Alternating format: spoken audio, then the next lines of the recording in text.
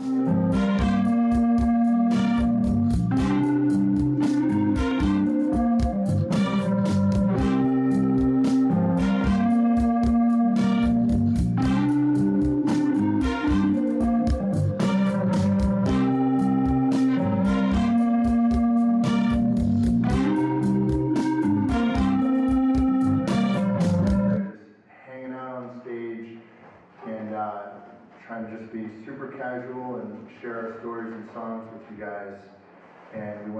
encourage y'all to uh, ask questions. You can talk about feelings, any, anything like that. You don't have to say anything at all either. Um, you just observe, and that's totally cool. But it's we've kind of kind of noticed over the over the shows that it's kind of developed as a interactive thing. And so if you feel like you have an idea or want to say something, don't hesitate by any means. Um, we, uh, the show has kind of started um, to try to nurture and cultivate a songwriting community um, by bringing people that maybe there's acquaintances or people who've never met before and get all kinds of genres to just kind of create this hub of writers. And over the shows, like I was saying, we've noticed that the audience wants to participate. Uh, so it's a cool dynamic. And if you want to observe, totally cool. So uh, backstage in the green room, we drew straws to see who would go first. And the lucky Greg Masterson here.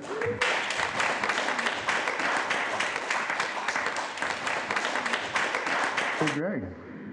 All right, so I'm Greg, um, and uh, my first song is loosely based on a true story. I once woke up um, and my house was on fire, and uh, I, my first my first thought was smoke detector, because that didn't work. But it, my throat was really you know, burning and my eyes were burning and I woke up and I, I look around and the, I'm on the second floor and it's totally smoky. And I go downstairs and a log had fallen out of our wood stove and um, this was a different period in my life where I was a little more reckless perhaps. And uh, there was an individual sleeping next to the burning log about an inch away from it and uh, pulled him away from the log and couldn't wake him up and um, but he survived. We all survived, and uh, and I wrote this song um, because what else do you do with a situation like that? You're going to write a song about it if you can, and uh, the the imagery kind of changed within the song. So this song is about. Um, something on fire, and it's also um, it's also a love song for me um, for the guitar as an instrument. Um, I really love guitars. I'm a total guitar nerd, um, and so it, this is a dual, dual meaning song. I guess you could say it's called "Barn on Fire."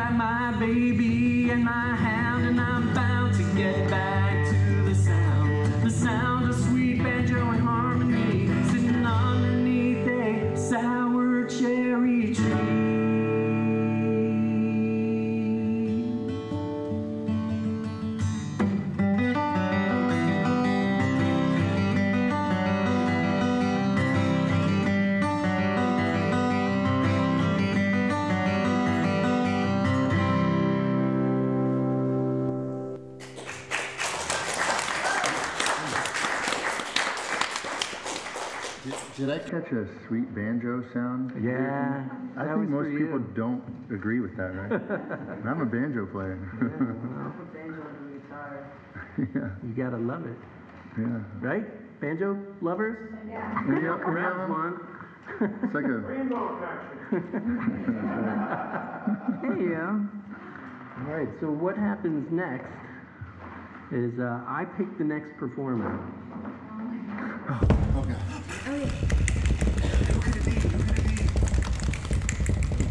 Supposed to be excited or scared? Scared. Okay. Lucelina. Yay, Lucia! And then the name does not go in.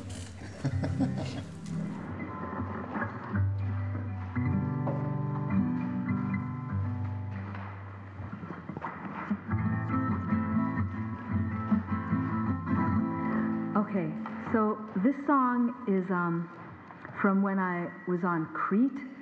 In, it's in southern Greece, and um, I was there for almost at least a month and a half or so. It was really beautiful, and I fell in love with it. And so this is a, a love song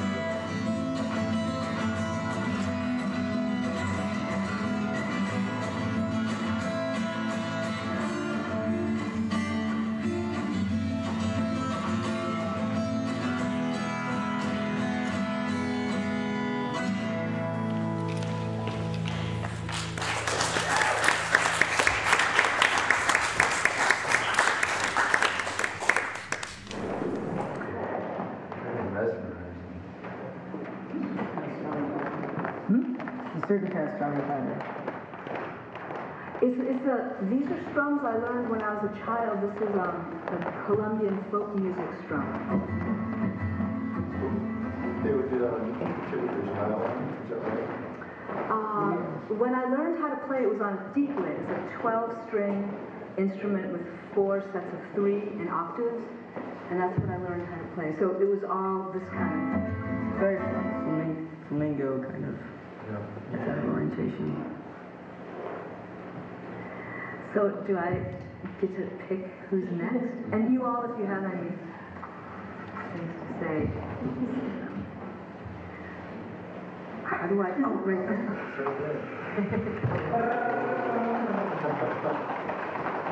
Very high-end trouble.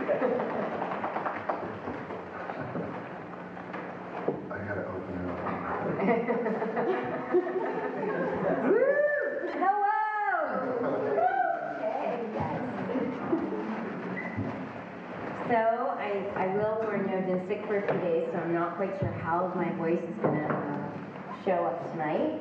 But it, yeah, but it did show up. Yes. And thank you for showing up too. Um, so this first song is about spring um, and a very long winter. It was about four or five years ago. And it was like one of those winters that when you went to the grocery store, you were just like, because that's really all where I got to that winter. And you were just like so thankful there was still food on the shelves. And you were still thankful that there was people there too. And that you were all going to get through it together. Um, even though you didn't know each other, the warmth of smiles and the sparkle in each other's eyes um, was was what flamed my fire to get through winter. So, anywho, it was like uh, May 5th at 5 o'clock, and at that moment, the earth, it shifted and spring finally came. So.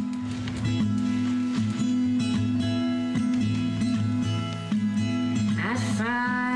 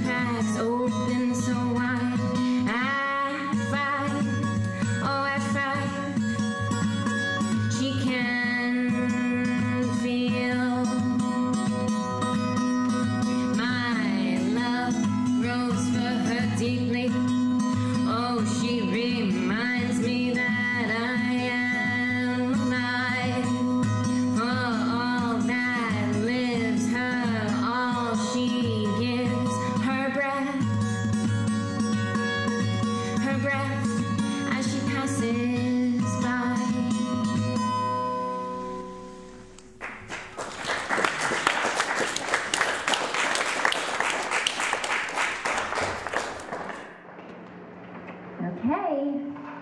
The introduction reminded me of the, uh, that kid's book, uh, Frederick, the little mouse that Oh, yeah. I love uh, that. In the wintertime, he shares with all his other little mice friends.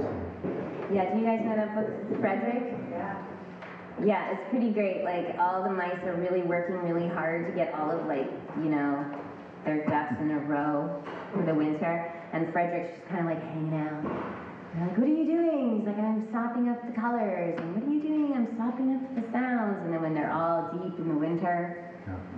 and And they're, all the food's gone. yeah, Frederick Yeah. is the man mouse. That would be a theme song. Five five after five. I'm curious what happened. What? They all live happily ever after. Yeah. And then next season comes. Oh, things he's soaked up so you can remember it all, hear it all, have it all. Oh, does he tell stories? Yeah, they're like, Frederick, tell us, tell us about, and you know, what you were doing when we were gathering all the nuts, you know. And he was like, tell us what you about the sun rays that you, you know, absorbed or whatever. And he would talk about the colors of spring, of the flowers and the warmth of the sun. And they're all in this little cave, all cold, and all of a sudden the other mice start to see the sun and feel the warmth. Love it. This is the value of the arts. Poetry, And play music. feeling. Mm-hmm. Totally. You can't live on bread alone. You try to. You just need to watch. Okay, guys ready? Where's the drum roll? You already grabbed it. I knew I already grabbed it, but I haven't read it. It's you. Yes. Cool.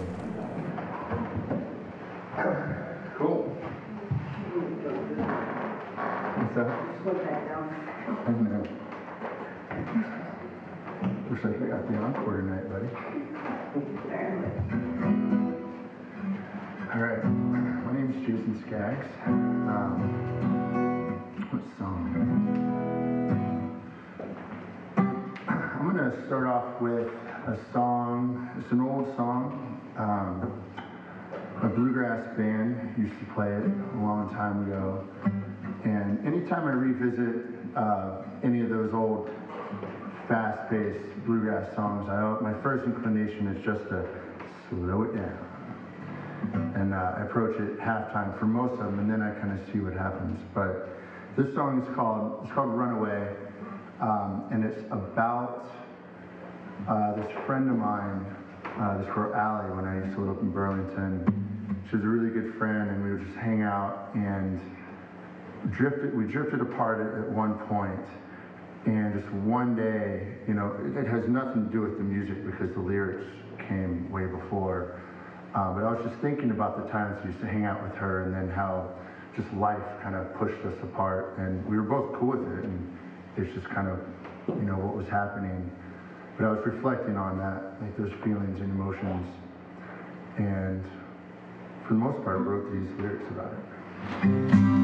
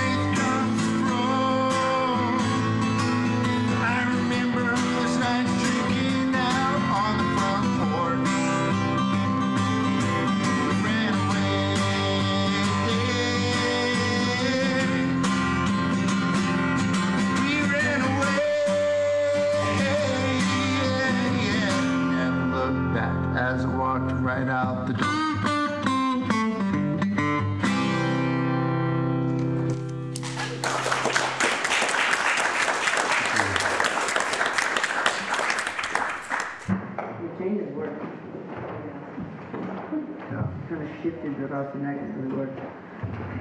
Yeah, I like the, some nice open voicing, you know, letting that high E kind of ring throughout a lot of it. Well, o- open is, it can be used in different connotations across the neck. Mm-hmm. Depending on how you use it. Should I play now? Sure. Wait, do we give him a drum roll? Oh,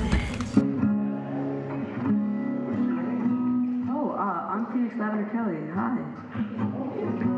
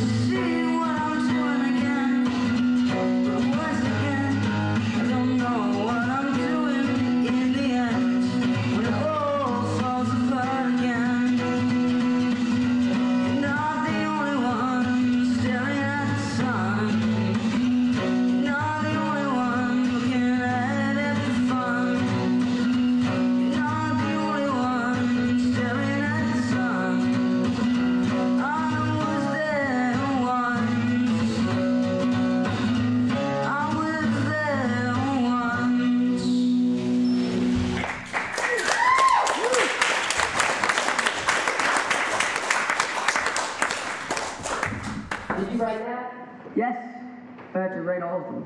Actually, that's kind of the point of it. Uh, I don't really. We're not allowed to do covers. No. I think there is one though, where they're gonna do covers. Yeah, May twelfth, the next one, it's Yeah. all, it's all covered. Yeah. Uh, I don't really know where my songs come from because I kind of feel like I write them and then slowly understand what they were about. Um, I think of myself more as a storyteller than I do a songwriter in some ways of that. So yeah. So I think myself, think of myself as opposite of that. Really? More of a songwriter as opposed to a storyteller. Well, technically, songs are, they tell a story, whether Yeah, that be I- the one you're trying to or. Yeah, I, I think I think more about um, the instrumentation of songs than I do, like lyrics for me came way later. Well, I, I like kind of setting a tone for it with the music in general, and then you kind of have the lyrics to go over that Totally. to form it, however it is. Do I get the pieces to all the paper, or did we already put them in there? I don't know where they went. but it's, Oh, it's background? Yeah. Oh, okay, I guess. so we just established like the round that we play in and so forth for the next couple rounds. Gotcha. How you guys doing out there? See some familiar? Question? Totally. I'm curious, Phoenix, where your name came from, because it's really unique. and I Oh. love it, And I'm just curious the story. Uh, well, uh, the first name, Phoenix, my mother, she loves tarot cards, and uh, it was her favorite card, is the Phoenix. And then the Lavender Kelly, Lavender is my mother's last name, and Kelly is my father's last name. And they're actually all colors, if you think about it.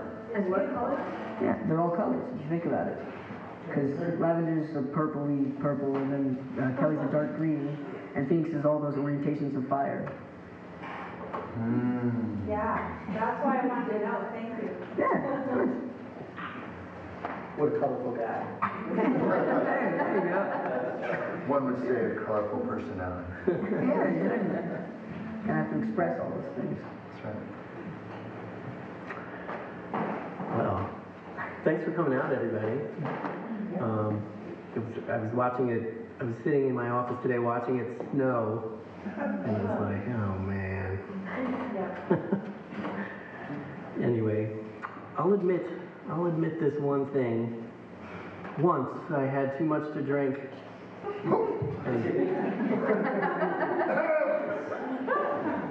and, and drove. Once. So, like about my house fire story, what do you do about these crazy experiences that you have? You write songs about them. And so this is a uh, this is a story about a drive I took, and uh, or I was part of, and um, and I lifted uh, lyrics to other songs that are interspersed within this song, so you can tell what music I was listening to, what bands were happened to be on, and in the car at the time, and uh, this is called D and D. Drinking and driving.